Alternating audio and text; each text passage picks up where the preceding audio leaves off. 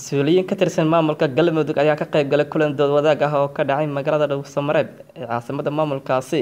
Gudoomiyaha baarlamaanka maamulkaasi maxamed nuur gacal ayaa sheegay in dadka soomaaliyeed ay diyaar u yihiin qabsoomida doorashada dalka.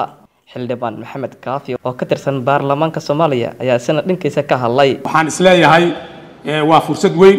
Fursadda labaad labaatankii sano oo la soo dhaafay. Waqtigii ugu fiicneed oo ugu midnimada badneed oo ugu nabadda badneedaan hadda joognaa markii loo qiimeeyo markii laga soo bilaabayay carte dowladdan hadda noo shaqaynayso. Iyaduna waa khibrad noocyihii kala duwanay ee la soo qaatay. Carte laga soo bilaabo ilaa la soo gaaro. Middaan maanta aan joogno. Waxaa kaloo ayadana jirto dadka soomaaliyeed inay bisil yihiin oo diyaar u yihiin maanta inay doorashadii qabsadaan. Waa middaan hadda ugu dambayso oo galmudug madaxdii soomaaliya ay u wada joogto.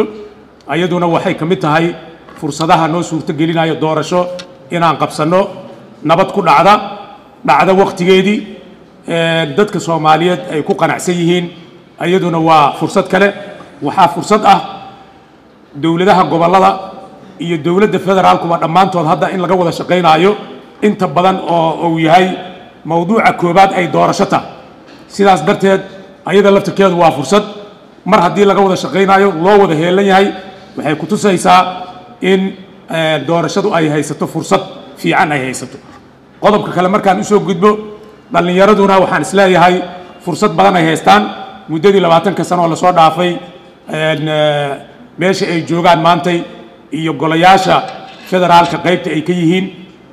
Markaan aniga hadda qiimeeyo baarlamaanka galmudug boqolkiiba lixdan waa dhallinyaro intaan doorashada ma dhici kartaa iyo ma dhici karto. Annaga waxaan u malaynaynaa intayna halkan joogta wax doorasho one man one fooda wax ku soo doortay inaysan ku jirin haddayna ku jiraanna qof iyo laba iyo maaqa profesorka inay kolle waqtigii.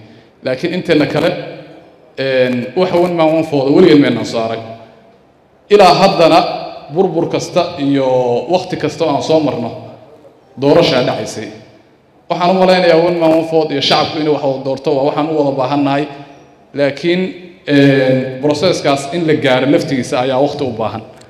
Annaga ka baarlamaan ahaan in la gaaro waa waa go'aansanay waana ka shaqayn kulankaani ayuu wuxuu ku soo aadayaa xili magaalada dhuusamareeb uu ka furmi doono.